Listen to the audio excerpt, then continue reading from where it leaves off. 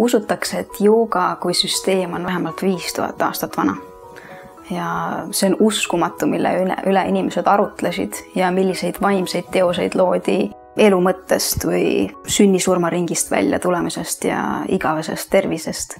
Patanjali joogasuutrad peaksid olema iga joogaõpilase kohustusliku kirjanduse hulgas, sest need selgitavad, mis on jooga ja milline peaks olema üks joogaõpilane tegelikult on seal see terve joogateekond kirjas algusest lõpuni ja näiteks ka inimloomuse valud ja kannatused, kusjuures need on eriti tabavalt ja täpselt äh, kirjeldatud. jooga õppimiseks on vaja puhast südametunnistust ja vabanemist emotsioonidest, kiindumusest, sõltuvusest ja ka selgust, et miks sa seda teed. et see on segaduse eemaldamine mõtetest ja meelest, et see oleks niisamagi hea.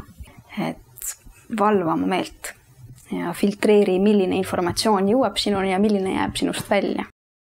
loomulikult ei pea tänapäeva inimene, kes joogaharjutusega tegeleb, äh, üritama jõuda valgustatuseni. lihtsalt on hea teada, et miks väidetakse, et äh, jooga tasakaalustab keha ja meelt. kuidas see võimalik on, äh, millises punktis oled sina ja mida peaks edasi tegema? et meelerahuni võiks küll jõuda